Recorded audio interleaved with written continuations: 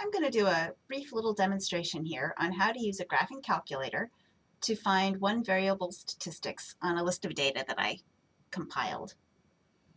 So what we'll do is I'll show you how to input the data and then the buttons to push to find the mean, the variance, standard deviation, and we'll just see what else we can get.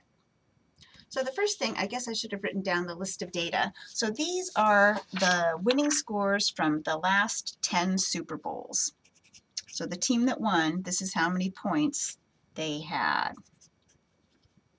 And this is only valid if you're watching this before the 2014 Super Bowl. So this is the 2013 game.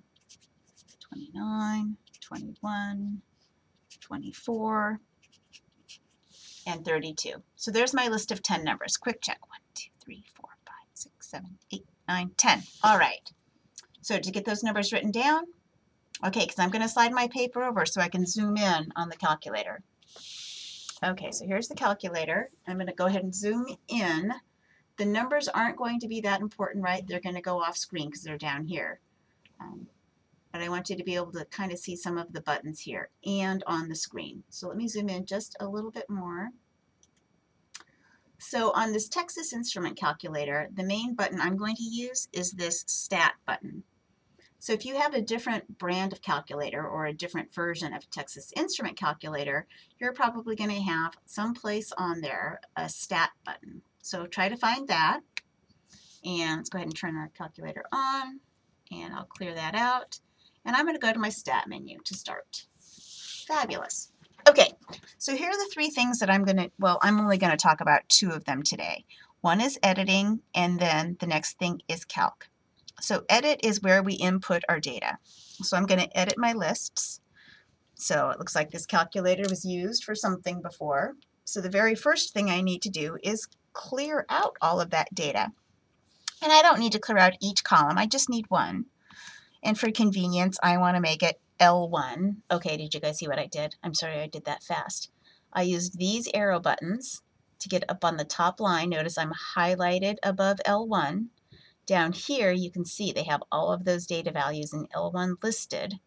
So while I'm up here, I'm going to hit the clear button. Notice they're gone. And then I'm going to hit enter. Ah, I have a nice clean column to put all of those data values in. So I'm going to ignore my L2 and L3 if those bother you, if you have something there. It's like, I can't handle it if I still see numbers. Go ahead and clear them out just like we did with L1. Pause and then come back.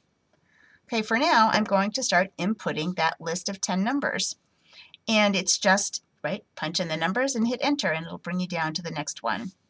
You'll also notice down here at the bottom, it'll tell you list one, the first data value. So we can kind of keep track and make sure we didn't lose something. So 34, 21, 31, 31, 27, 17, 29, 21, 24, 32. L10, right, I had 10 values, perfect. Okay, so now I have my data all input. So remember that was stat edit. So now I need to go back into my stat menu and this time what I want to do is I want to calculate. So I'm, I use my arrow to come over to calculate. So here's a list of all of the different things that the Texas Instrument calculator at least will calculate for you. And the one that we're going to do is this one variable statistics.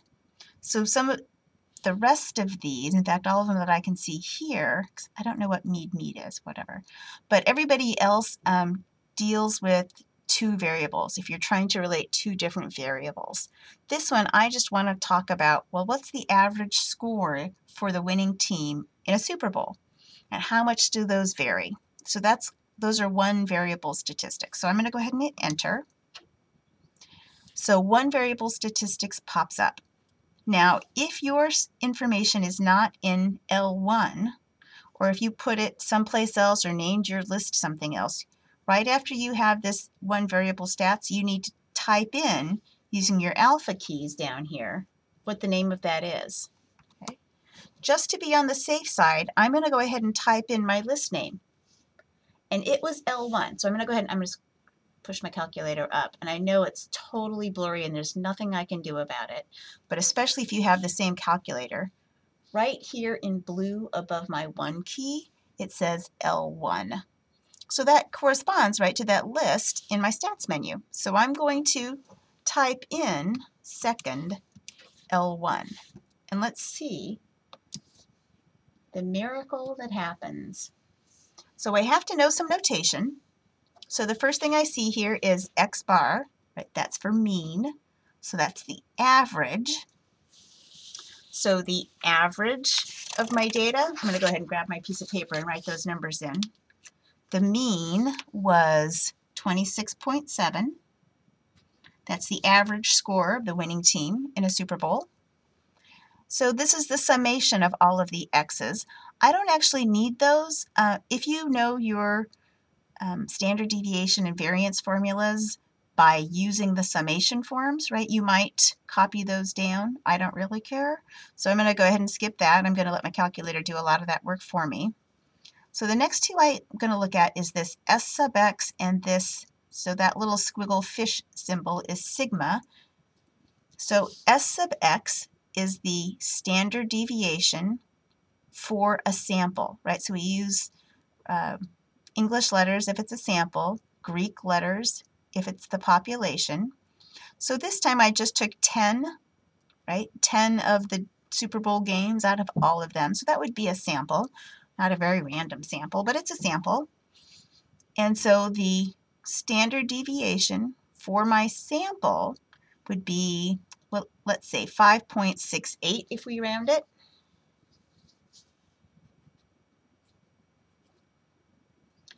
And the variance, I don't, that might come down here. Um, let's see, n is 10, so that just tells you how many data values you had. Oh, it doesn't tell us our variance. So if I wanted the variance, remember that is standard deviation squared, so you could just take that 5.68 and square it. I'm just writing that down in case I need it in a bit. Let's see, the minimum, the lowest x value we had was 17.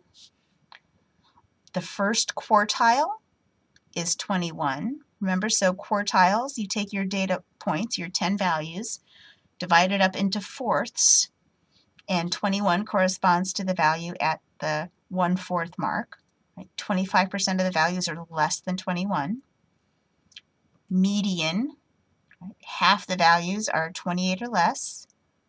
Third quartile, 31. And then our max x value is 34. Amazing. So once again, that was stat calc, one variable statistics. And then you get for free all of this information.